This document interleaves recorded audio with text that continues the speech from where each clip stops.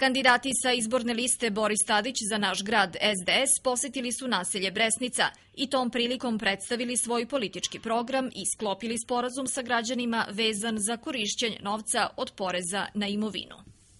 Evo i u razgovoru sa građanima mesne zajednice Bresnica vidimo da ima mnogo komunalnih problema. Zbog toga će se nasa lista Boris Tadić za naš grad SDS izboriti sa se 70% poreza na imovinu vraća mesnim zajednicama i da moramo da reše, da oni mogu sami da reše svoje nagomilane komunalne probleme.